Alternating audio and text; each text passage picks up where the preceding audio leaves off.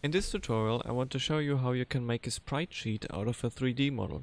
Some parameters have to be exactly like shown so that the resulting sprite sheet can be used satisfactorily. First of all, select everything by pressing A and then hit the delete button to delete everything in the active scene. The next thing you want to do is import your 3D model. In my example it's an FBX file, so I selected import and an FBX. This is going to be the 3D model I'm going to use in this tutorial. And as you can see it's a car consisting of many different meshes. The next thing you're going to do is to position your model in the middle of the world. This can be achieved by pressing 1 and then pressing G to move the car, press Y or X, I don't know which one right now, uh, to move it only in one direction. Then you do this with Z, with the Z axis too, by pressing G and then Z, so you can only move it in the up down direction. When you got that, you press 3 to get the side view and then you do the same thing but with uh, the other one of X and Y. So you have the middle of the car in the middle of the world and you can check by creating a cube and seeing if the middle of the tires are at the edge of the cube. Then you got a 3D model in the middle of the active scene. Next thing, you might wanna change to the cycles render, which is ray tracing, and then to GPU. Then you select your sample sampling count.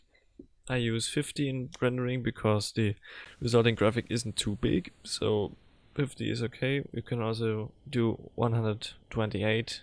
It's up to your GPU. And for the viewport, which is just a viewport, um, I sometimes use 1 to 10 just to have a quick glance at it rendered. Next thing is setting the resolution, which is quadratic. The frame count is the parameter directly responsible for the direction count of your vehicle in Factorio for example. So you have 128 directions the car can be directed to. So you change the blender settings to 128. You can also do 16, 32, 64. Uh, it's up to you. Um, the normal normal direction count in Factorio for cars or vehicles is for uh, 64. Next, you wanna say Blender where it should uh, save your renderings. Um, my example, I chose this path. You might wanna choose a subfolder called render or something else, so that it can uh, it's it's properly ordered. Okay, next thing we need a camera, of course, which you will be positioning like me, for example. So you have it on one axis and directed at the origin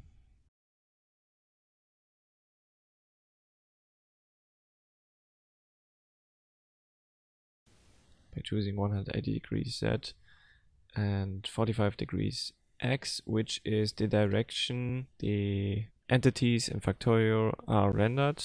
It's also the direction you'll be later choosing for the sun. So the sun comes not directly from the top and not from um, 0 degree, but from 45. Okay, then you have to change the camera setting to orthographic, otherwise it's looking shit then you can choose an environment texture which will emulate a um, environment and not just a single light source which will definitely look better in game because you have some colors and some different light values.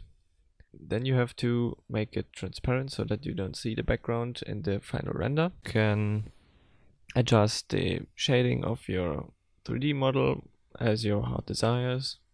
I'm not going to show that right now because it's really a personal choice and a thing which is uh, different from model to model. The next thing you're going to do is um, giving the 3D model parts, if your model has more than one part, a parent by adding a empty and then selecting every 3D model you wanna parent and dragging it with shift into the empty. So every 3D model in that empty is going to be moved by moving the empty, which we will be needing when animating. Next step is actually giving the empty a animation keyframes and we want to rotate it 360 degrees so we jump to the 64th frame and then adjust the rotation 180 degrees and do that for the 128th frame. Then we need to interpolate it linear so that it does look smooth. Selecting 60 frames per second so that it's smooth. It's not really important for later steps but it's just a visual thing then you have to increase the orthographic scale maybe in my example I did have to because the car was too big.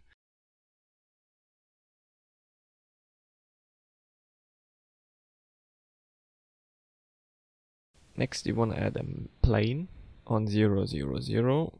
This is going to be our shadow catcher for rendering the shadows.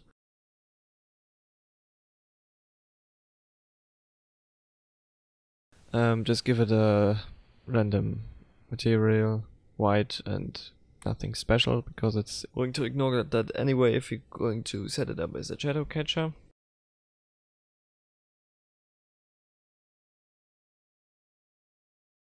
This plane is only going to show shadows and do nothing else. Then you might want to add a sun for the later shadow rendering. You can position it wherever you want but the rotation is important.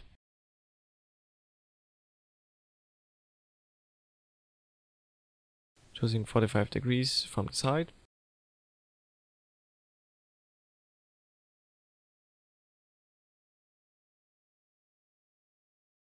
Now you can see two shadows, one from the environment texture and the one from the sun. The one from the sun is going to be used later. Now you have to again adjust your orthographic scale because the shadow has to be in it of course. And you have to jump to certain keyframes or steps in the animation to see if it actually fits. And you only can do that in the rendered mode, otherwise shadow isn't going to be rendered.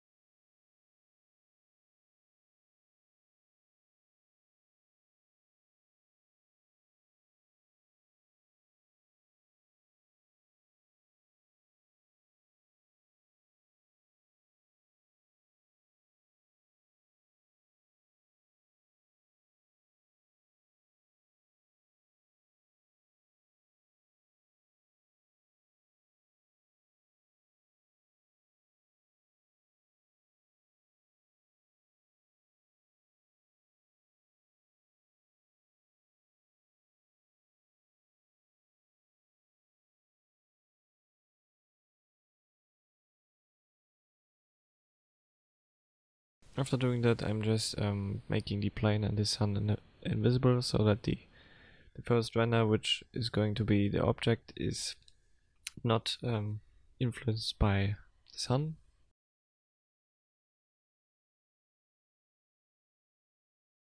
This is your final render, but you can see it's really noisy, so we're going to add a denoise filter in the composition tab.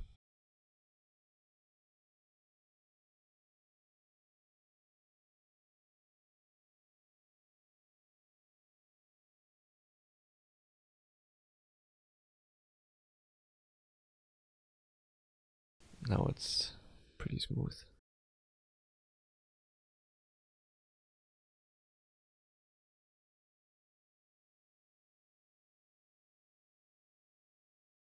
Next thing is actually putting the environment texture where there's a sun actually in the correct direction, which is it which it is not in my example. Um, the thing is the cars rotated um, a little bit more as my other models, so I'm so I cannot use my 53 degrees I'm always using. So I have to see which one is correct. And it really depends on the environment texture.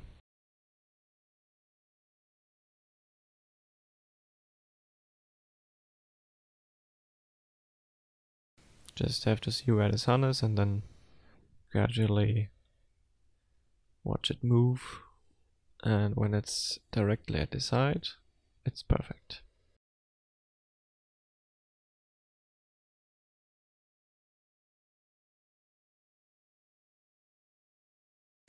Make the background transparent again.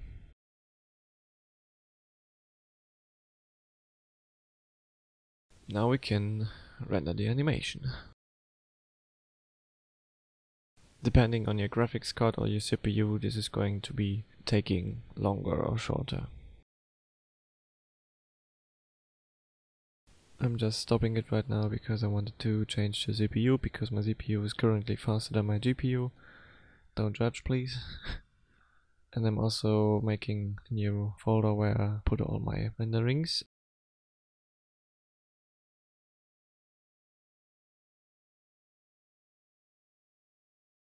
And then I'm adjusting the starting frame so that it doesn't render everything from the start. Again setting the output folder to the correct one and rendering again.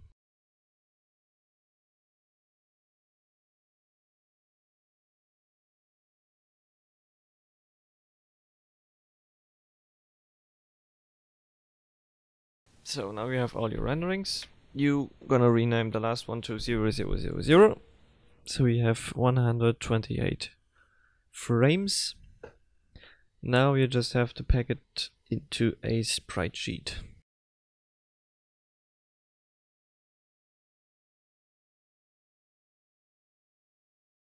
And for that I can recommend a website which is packing your renderings into a sprite sheet, but you can also write your own sprite sheet maker with Python, for example, like I did, because sometimes you need different sizes, different configurations, but for a simple one frame per animation sprite sheet this is sufficient.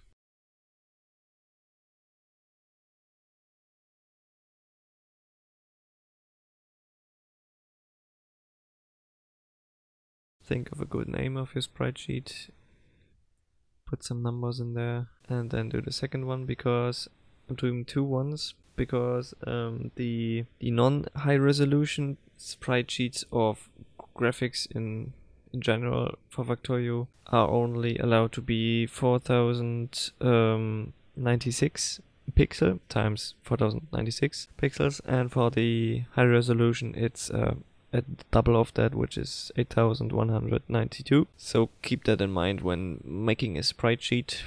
So it's um, 8 times 8, which is 64. By 8 times the single frame size, which is 500, you get the size of 4000, which is just below the maximum for non-HR. And yeah, so 8 times 8 is okay. If you're rendering your high resolution sprite sheets, you change the resolution to the double of the normal um, which is going to normally take four times the time to render but depends on the model.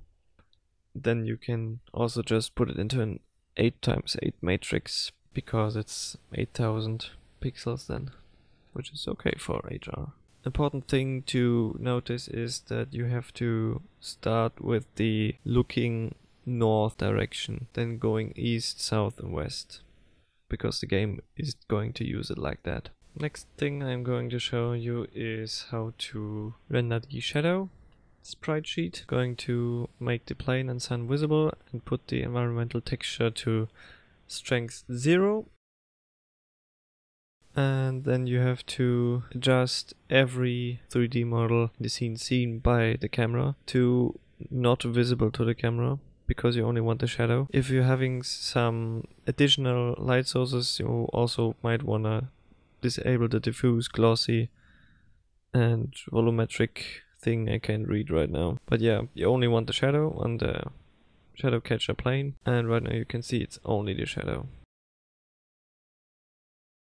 The thing I only noticed later is that the light source, the sun, has a angle set up so the texture is a little bit blurred.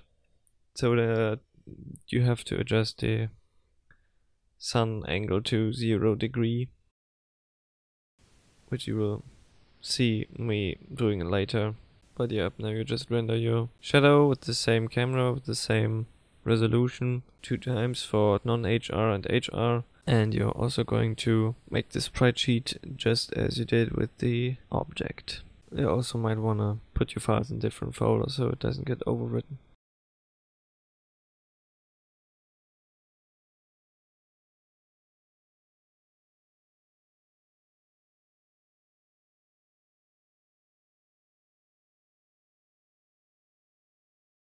Now I'm noticing that I have a degree set up.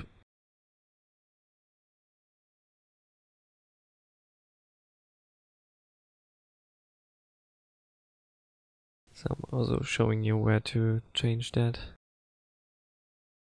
It's really sharp now. But anyway, this is how it's done. I hope I could explain satisfactorily to you how to make a sprite sheet out of a 3D model. How to use it in Factorio, however, is a story for another day. Have a good one.